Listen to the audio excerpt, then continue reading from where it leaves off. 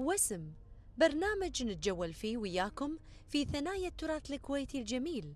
نتعرف فيه على الأمثال الشعبية وبعض القصائد والسوالف المتناقلة في التراث الشعبي الكويتي من البادية والبحر وكل ما هو كويتي جميل. أهلا وسهلا بكم الأخوة المشاهدين وما زلنا مستمتعين وياكم في هذا البرنامج.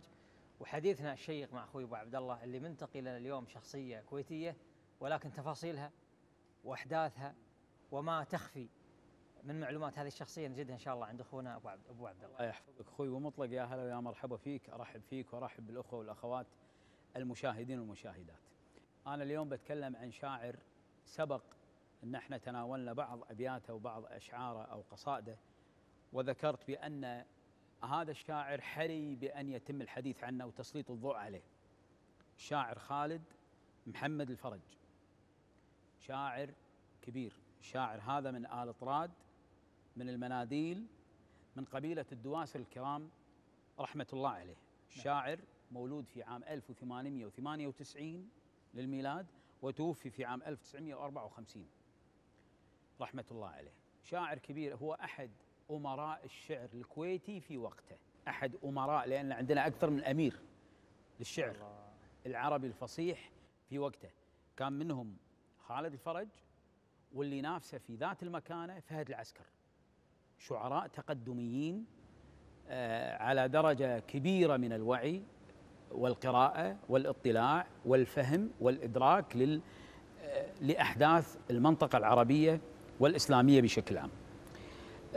طبعا أهله كانوا في قطر ثم نزحوا إلى الكويت. فولد الشاعر خالد الفرج في الكويت رحمة الله عليه. وتعلم في الكويت في كتاتيبها ومدارسها اللي كانت متاحة. وبعدين سافر إلى الهند. لما سافر إلى الهند اشتغل كاتب عند أحد التجار العرب. الكتابة هذه والحساب خلته يوثق علاقاته مع هذا المحيط. وكانت الهند في ذاك الوقت يعني بلد متقدم بالنسبة طبعا لمنطقة الخليج العربي. بلد في تجارة بلد في علم وثقافة في مدنية إلى آخره. نعم. فهو استفاد من هذه البيئة الجديدة. ثم عاد بعد ذلك طبعا آه، لما يعني توسعت مداركه آه، استطاع أن ينشئ هناك مطبعة. كانت المطبوعات العربية اللي باللغة العربية الفصحى تنطبع في الهند وتنطبع في لبنان أيضا. نعم. لكن الهند كانت أكثر لكون آه، علاقة الكويت في الهند تجاريا قوية. فبالتالي أنشأ هناك مطبعة. ثم عاد بعد ذلك إلى الكويت. وبعدين انتقل إلى حاول يدخل إلى البحرين لأن أيضا البحرين للعلم في ذاك الوقت كانت إحدى حواضر المنطقة منطقة الخليج العربي. كانت بل بلد متقدم البحرين. وفيها فعاليات ثقافية واسعة. فبالتالي أحب أنه ينتقل إلى البحرين يهاجر. لكن المستعمر الغربي هناك منع من دخوله لأنه إنسان غير عادي. خالد الفرج. فظل فترة ثم استطاع بعد ذلك أنه يدخل إلى البحرين. لما دخل إلى البحرين درس في مدرسة اسمها مدرسة الهداية والتفتت عناية السلطة في البحرين إلى ملكات هذا المبدع والمفكر والإداري. زين قدراته في الكتابة وقدرات غير عادية. زين يعني مو بس يفك الخط ويكتب لا هو أوسع من ذلك وهو شاعر مبدع. فبالتالي آه، جعلته هو أحد أعضاء المجلس البلدي في البحرين. بعد ذلك رد إلى الكويت. قعد فترة طويلة في الكويت. ثم آه، بعد ذلك في عام 1927 عاد إلى الكويت قعد فيها سنوات. ثم علمت المملكة العربية السعودية أو آه، بالتحديد عبد العزيز الأمير عبد العزيز آل سعود رحمة الله عليه عرف الإمكانيات التي يتمتع بها هذا المبدع. وهو خالد الفرج. وسيرته سيرة حياته. أنشأ مطبعه في الهند وكذلك كان أحد أعضاء المجلس البلدي في البحرين فأراد أنه يستفيد من مواهبه وإمكانياته. فعين مدير لبلدية الإحساء ثم القطيف ثم الدمام. وأنشأ في المملكة في, في هذه المنطقة المطبعة السعودية. فهو في الحقيقة إنسان صاحب ملكات كبيرة جدا أحد المواهب الكويتية الغير عادية. آه الغريب آه يعني أن هذا البريق الإبداعي ما نعرف عنه إلا كتابين فقط لهذا الرجل مع أن يعني مؤلفاته أوسع من ذلك. كتب الخبر والعيان مجلد عود تكلم فيه في تاريخ آل سعود الكرام. حلو؟ نعم. وبغزوات وفتوحات الملك عبد العزيز آل سعود. حلو؟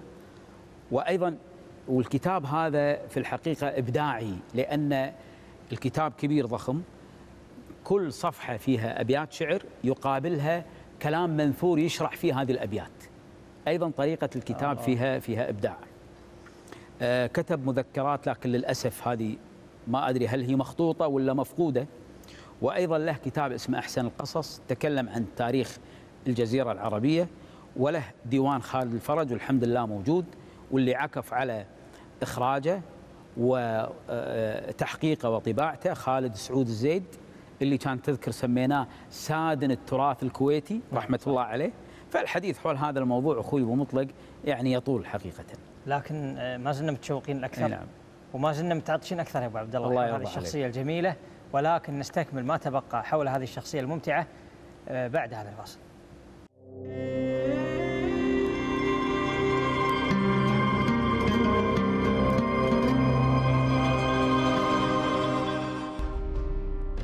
تتشعب المواضيع بأشكالها ومضامينها وما زلنا معاكم متواصلين لنتعرف أكثر وأكثر لاستكمال ما تبقى منها.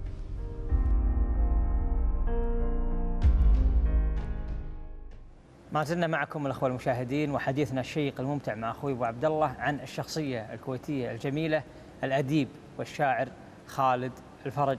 فنرحب أبو عبد الله مجددا ونقول له أكرمنا ومتعنا. الله يرضى عليك. أحسنت أخوي أبو مطلق. أنا أشكرك على آه، هذه المقدمة وأذكر بأن هذا هو أحد شعراء الكويت الكبار واللي التفتت عناية المملكة العربية السعودية وقبلها البحرين إلى مواهب هذا المبدع اللي له آه، إمكانيات غير عادية بالنسبة لوقته وزمنه الذي كانت تشيع فيه الأمية ويشيع فيه الجهل وكانت يعني منطقتنا يعني متأخرة إلا أن هذا الإنسان استطاع بملكاته أنه آه، يعني يدعم بمواهبه آه، التطور الذي كانت تتطلبه المنطقة.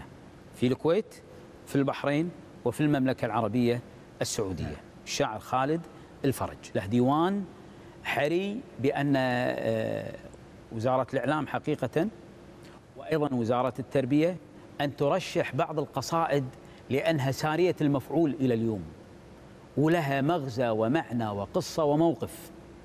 من هذه القصائد أبو مطلق اللي يتحلى بها جيد هذا الديوان الجميل لخالد الفرج. إسلام الضابط المستشرق سانت جون فيلبي. حلو؟ هذا نار على علم. أدى أدوار استعمارية استشراقية في المنطقة غير عادية. آخر المتمة أسلم. حلو؟ الله. هذا الإنجليزي. أسلم. وتسمى بعبد الله أصبح اسمه عبد الله في البي إلى اليوم كتبة تطبع ويعني معروفة اللي يتكلم عن تاريخ الجزيرة العربية اللي يتكلم عن بعض المواقع الجغرافية اللي يتكلم عن يومياته وأحداثه آه، في خلال مسيرته عاش مع البدو تكلم عن بعض قبائل العرب عاش بينها في وسطها وتعلم على سلومها. شيء عجيب حقيقة. في آخر حياته أسلم وتسمى بعبد الله الشاعر خالد الفرج تحدث عن إسلامه بقصيدة من أعذب القصائد. شو يقول؟ الكلام هذا كان في عام 1350 للهجرة. فيقول الحمد لله ربي قد أسلم اليوم فيلبي. اسمع عبد الله فيلبي. نعم. الحمد لله ربي قد أسلم اليوم فيلبي. وذاك نصر عظيم نلناه من غير حرب. من غير حرب؟ آه. يعني الرجل. دخل في الإسلام. حلو. إيه. فيقول وذاك نصر عظيم نلناه من غير حرب ومن كفلبي غنم. يعني مو إسلام أي واحد هذا. إسلام عبد الله فيلبي أو جون سانت فيلبي مو أي واحد. هذا الإنسان اللي اسمه نار على علم. اللي بالدبلوماسية الإنجليزية معروف. اللي في الحركة العسكرية ضابط. اللي في- على مستوى الثقافة والبحث الجغرافي والتاريخي كان مستشرق. فبالتالي إسلامه مو مثل إسلام أي واحد حلو؟ فيقول ومن كفلبي غنم حزنا به خي خير كسبي. والناس قالوا وقالوا كلام بغض وحب لكن منهم أديبا. وهو يتكلم عن نفسه لكن منهم أديبا. رب اطلاع ولب يقول ناقشت فلبي فقال سري بقلبي. إيش يقصد؟ يقصد إن في بعض الناس طعنوا في إسلامه وقالوا إن إسلامه شكلي لتحقيق أغراض استعمارية. وفي ناس قالوا يبا أنت أشققت عن قلبه دخل في الإسلام. ما تقدر تقول والله هو أسلم كاذب ولا أسلم صادق. حلو؟